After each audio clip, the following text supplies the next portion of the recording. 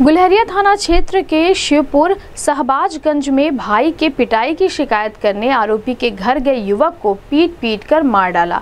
आपको बता दें कि बुधवार की शाम को सुभाष का छोटा भाई सब्ज़ी लेने गया था, जिससे वहाँ पर कुछ युवकों ने सुभाष के छोटे भाई रामकिशन से मारपीट की, जिसकी शिकायत करने सुभाष गुरुवार को युवक के घर गया, जिस पर युवक के घर वालों ने ईट पत्थरों से हमला कर दिया, जिससे सुभाष बुरी तरह से घायल हो गया। जिसको लखनऊ ले जाते समय उसकी मृत्यु हो गई। जिसके संबंध में एसपी नॉर्थ मनोज कुमार अवस्थी ने बताया कि 6 जुलाई को गलेरिया थाना क्षेत्र के शिवपुर शहबाजगंज में सुभाष चौहान को उसके घर के बगल के लोगों ने पीट दिया था, जिससे वह व्यक्ति गंभीर रूप से घायल हो गया था, जिसे लखनऊ ले जाते समय मृत्यु हो गई थी। जिसके संबंध में गुलरिया थाने में मुकदमा पंजीकृत किया गया है, जिसमें एक अभियुक्त को हिरासत में ले लिया गया है। बाकी अभियुक्त की गिरफ्तारी के लिए दबिश दी जा रही है। जल्द ही बाकी अभियुक्तों की गिरफ्तारी की जाएगी। इस संबंध में गोरखपुर न्यूज़ से बात करते हुए एसपी नॉर्थ मनोज कुमार अवस्थी ने कहा।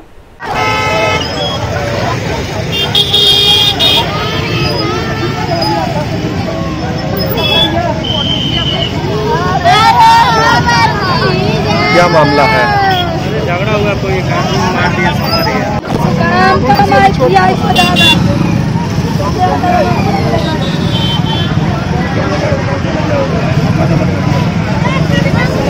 कौना काला राज में हमरा बाबू मार धरले हमरा बाबू मार धरले अरे हमार जो था वो जो था। अरे हमारे जो मार धरले रे भैया।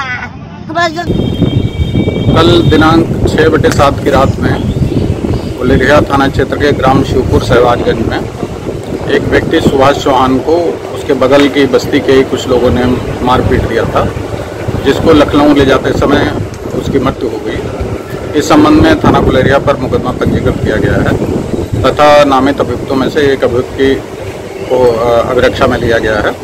शेष अभियुक्तों की गिरफ्तारी के प्रयास लगातार जारी हैं। मौके पर पुलिस फोर्स की तैनाती की गई है। शांति व्यवस्था का